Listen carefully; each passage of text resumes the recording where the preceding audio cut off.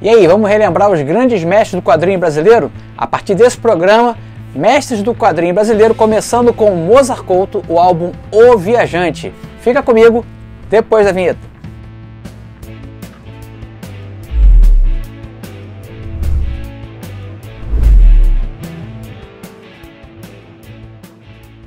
Fala aí galera, eu sou o Jorge, mas pode me chamar de Gico. Você está chegando agora aqui no canal, bem-vindo. O canal é para tratar, a gente trata aqui de quadrinhos antigos, né, de diversos gêneros, e também a gente dá umas dicas de desenho, faz umas aulinhas gratuitas falando de desenho. Se você quiser fazer parte do meu curso online, dá uma olhadinha aqui na descrição do vídeo, tem mais informações de contato.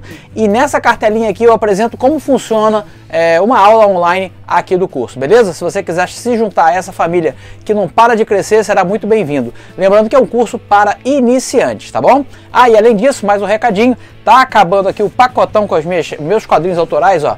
Esquadrão Vitória, que é uma homenagem aos quadrinhos da Marvel da década de 60. O Salomão Ventura, é, são diversas aventuras do Caçador de Lendas, que faz uma, uma releitura da, do, das lendas do folclore brasileiro, mas com uma pegada de terror, né? Essa aqui é o número 2, que ele enfrenta o, o Curupira. Essa aqui é o Lobisomem. Ó, tem essa aqui que é uma que se passa é, no, é, durante a Segunda Guerra Mundial. Essa é uma edição em cores e aí ele vai enfrentar nazistas em busca de elementos místicos aqui da, da religiões afro-brasileiras. Tem também esse aqui que é a reedição da, da primeira a aparição do Salomão Ventura com mais páginas e histórias extras. Então, ó, esse pacotão aqui todo que tá. E se você comprar, vai levar de brinde um sketchzinho Anankin que eu vou fazer só para você. Falou? Agora chega de papo, vamos pro vídeo, gente. Olha só aqui esse álbum que eu separei pra gente falar hoje. Mozart Couto, que é um cara assim, eu já, é, já tô preparando uma série de vídeos há um, um, tempo aí. Eu falei que ia começar a tratar de quadrinistas nacionais. É, não vou falar da galera que tá produzindo agora, porque a, a proposta aqui do canal são quadrinhos antigos, tá? Na, não estou desmerecendo a galera que produz, inclusive eu sou um dos caras que está produzindo quadrinhos agora. É, a, a, safra que, de quadrinhos atuais é excelente, excelente, mas eu acho que a galera que abriu assim o terreno para a gente, né? Essa galera merece ser reverenciada, relembrada e reapresentada ou apresentada aí para quem está chegando agora no mundo dos quadrinhos. E são vários esses autores que eu sempre admirei, é, mas eu separei o Mozart Couto aqui porque foi o cara que me chamou a atenção pelo desenho. Eu olhei o desenho do Mozart, quando eu olhei aquilo, assim, cara, olha só, o cara é, é é, não era americano, né? Então, não, não era quadrinho de super-herói, mas tinha aquela qualidade de narrativa gráfica, de anatomia que saltava aos olhos. E vocês vão ver o que, que eu estou falando aqui nesse álbum Viajante. Eu separei o álbum, é, o Mozart tem uma produção enorme, assim, de quadrinhos de terror, ficção científica. Ele trabalhou também com quadrinhos eróticos, é, depois ele migrou também para o mangá. É um cara muito prolífico. Mas eu, eu, eu, tenho várias histórias dele aqui de terror, pequenos contos que saíam nas revistas da VEC, Grafipar, e pode, pode ser que depois o Moza volte aqui com esses pequenos contos, tá? Mais ou menos nos moldes que eu vou fazer com Flávio Colim. O Colim, eu tenho alguns álbuns dele aqui, mas eu resolvi separar contos de terror que ele fez e mostrar a evolução do traço dele, e vai ser o próximo cara a aparecer aqui no, no Mestres do Quadrinho Nacional. Mas por que eu separei o álbum Viajante? É, esse aqui foi o primeiro trabalho que o Mozart fez para o mercado europeu. Então ele foi publicado primeiro na Bélgica e depois foi trazido aqui para o Brasil. É um álbum que foi aqui é, impresso no formato magazine, ele tem capa cartonada, uma lombadinha quadrada e tem cerca de... são 50 páginas de quadrinhos, tá? É, acho que tem aqui a introdução também é uma pequena introdução à capa, né, introdutória, e depois a gente passa direto para a história. O Mozart, que é um artista que começou, é, ele, ele tinha um traço é, um acabamento, melhor dizendo, tradicional, com nanquim, pincel, pena, caneta, e foi migrando aos poucos para o digital, assim que começaram a aparecer as primeiras é, mesas gráficas, né? Ele foi um dos pioneiros aí nessa migração para arte digital. Hoje ele fala em entrevistas que ele trabalha 100% digital, não usa mais os materiais tradicionais, e ele é um cara extremamente acessível, eu já tive a oportunidade de conversar com ele é, é, remotamente, não fui na, lá, ele mora em Minas, né, parece, eu não conversei pessoalmente, mas conversei remotamente. Ele é muito atencioso. Assim que eu estava começando a dar meus primeiros passinhos no desenho digital, tinha algumas dúvidas de configuração de mesa. Eu entrei no, no na época o blog dele, o blog do desenhador, Aí eu, eu perguntei algumas coisas sobre configuração, sobre cara, ele respondeu na hora, super atencioso, um cara, sabe, do bem, gente fina. Fora a, toda a qualidade artística que ele traz no trabalho dele. Agora vamos falar sobre o Viajante. Eu resolvi então trazer esse álbum porque é uma história fechada, né? Então ficava mais fácil da gente é, fazer o vídeo sobre o álbum. E é uma história, cara, que aqui é, é difícil até você é, eu vou passando a, a desenhos aí para vocês darem uma olhada e tem os detalhes, como sempre, que eu coloco para vocês, as imagens com mais detalhes aí vocês observando. Mas é, é um álbum que é difícil estabelecer exatamente se ele é um álbum de ficção, se ele é um álbum religioso, se ele, ele tem pitadas de terror, ele tem pitadas de ficção científica. É uma grande miscelânea experimental do Mozart aqui para narrar a história desse cara que é chamado simplesmente de O Viajante. Então a gente vai acompanhar a, a, é, a jornada desse cara em busca. É, como é muito subjetivo, parece que ele está em busca dele mesmo, né? ele quer se reencontrar, e essa, esse, essa busca por ele mesmo é colocada no álbum, pelo menos foi o que eu entendi, é, metaforicamente, mas também é, é concretamente na busca de uma tal cidade dos mistérios. E ele vai enfrentando perigos é, durante essa jornada, né? seja perigos é, materiais, é, bandidos, é, coisas físicas, assim como perigos psíquicos e também paranormais.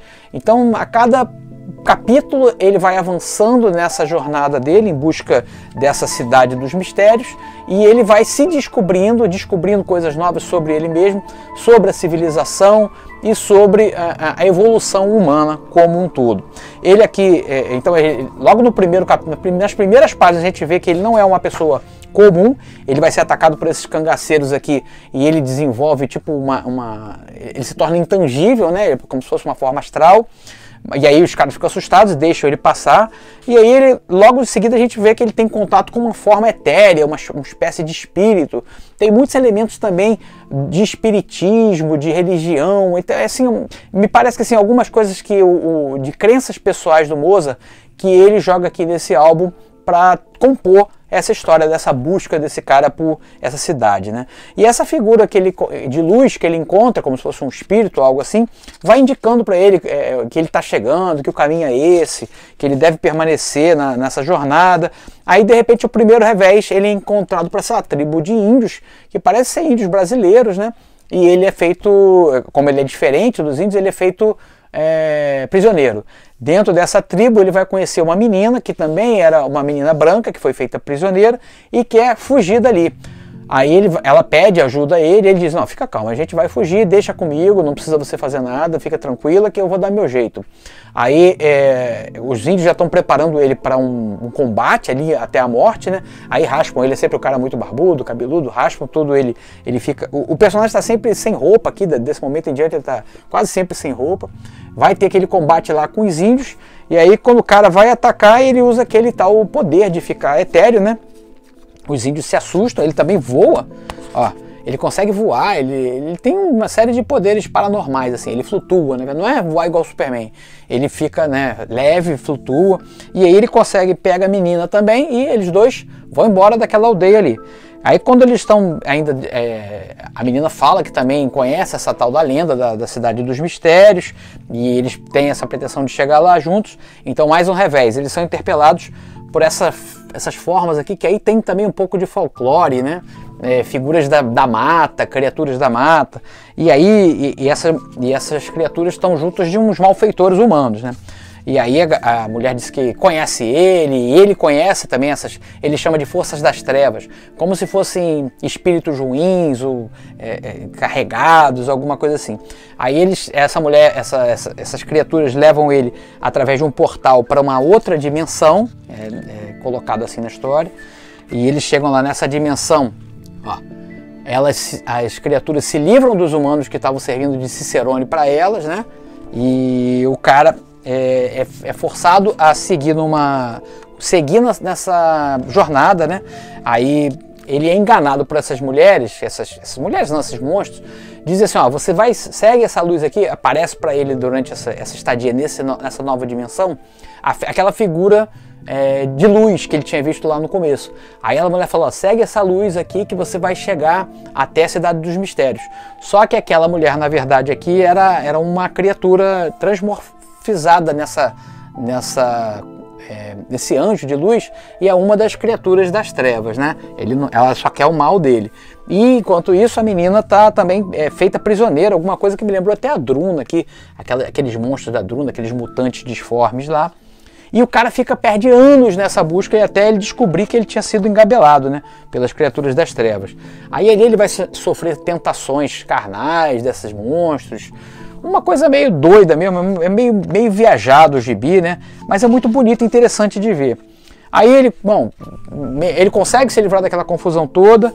Aí as, as criaturas das trevas percebem que ele é muito evoluído, que ele está acima daquilo tudo ali, ao rejeitar até o, o, aqueles prazeres carnais. E ele é levado então a esse tal portal de luz, de fogo. Esse portal de fogo, quando ele atravessa, ele volta para a dimensão humana. E aí está lá a, aquela figura de luz que, ele, que servia como guia para ele, já está na forma humana, e aí sim eles vão ser levados para tal cidade dos mistérios. A cidade dos mistérios, quando eles chegam, é como se fosse uma cidade inca, asteca, alguma coisa assim, com essa, essa característica é, arquitetônica desses povos, né? E ali ele vai encontrar um povo bem mais evoluído e ele, eles vão estudar. É, a companheira dele acaba é, casando por lá, arruma um companheiro, um namorado, e ele vai se dedicar a essa evolução, aos estudos dos, dos livros, e ele acaba também é, se apaixonando é, por, por aquela mulher que era a, o anjo de luz dele, aquele guia, né? É, ela ali já está na forma humana, então eles acabam é, se casando, né? E aí, um belo dia, eles recebem a visita de uma nova figura de luz, essa figura aqui, que diz que eles vão ter uma missão evolutiva de encontrar os eleitos, o povo eleito, o povo da, é, ele se refere como se fossem extraterrestres, po, povo, povos das estrelas. Então aí você vê que já tem uma, uma outra pitada aí de ufologia, de civilizações avançadas de outros planetas.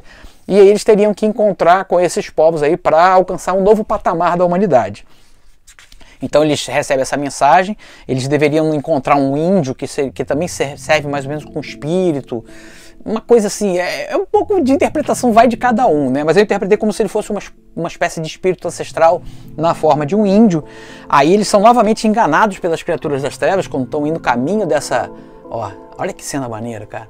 Quando eles estão a caminho né, dessa, desse, desse totem, que é onde eles vão encontrar com esse povo das estrelas, essas criaturas das trevas aparecem, e quando eles acham que está tudo perdido, vários monstros atacando eles, para cima e para baixo, coisa feia para todo lado, Aí vem uma arara, lá do céu, uma arara de luz assim, e joga um raio de luz nesse, nesse monstro de monstros, monstros que estão atacando eles, naquela né, horde de criaturas. E aí ele se revela: esse índio, na verdade, essa, essa arara é esse índio que eles estavam é, aguardando, né? tem. E aí, finalmente, eles conseguem é, é, vislumbrar essa, essa raça de, das estrelas que veio para é, explicar para eles que a raça humana está prestes a é, atingir um novo patamar evolutivo e cabe a eles essa transformação. Essa transformação que vem de dentro de cada um, de mudar você mesmo para que é, essa, a raça evolua e atinja um novo patamar de iluminação, de bondade, de caridade. Então você vê que tem algumas coisas de religião também. Aqui, olha só essa cena aqui, como traz bastante disso.